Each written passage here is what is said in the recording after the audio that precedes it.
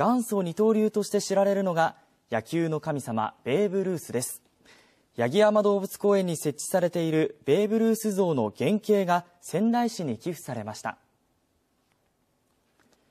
1934年大リーグ選抜チームが来日し仙台で日米親善野球が開催されました。試合が行われたのは当時の八木山球場。現在八木山動物公園がある場所です。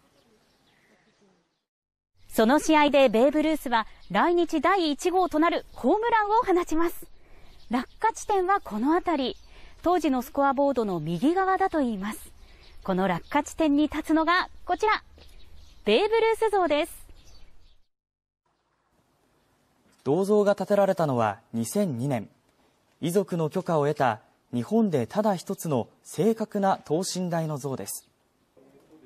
寄付された原型は石膏製で台座やバットなど6つに分かれています。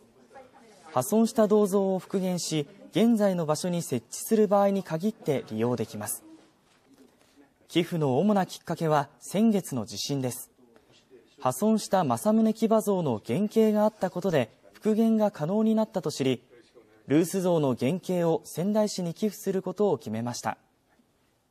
万が一ですね。あのベーブ・ルースの銅像にあの傷がついたり壊れたりっていうことがあったらどうしようと思ってたんであの非常にですねあの安心をしました。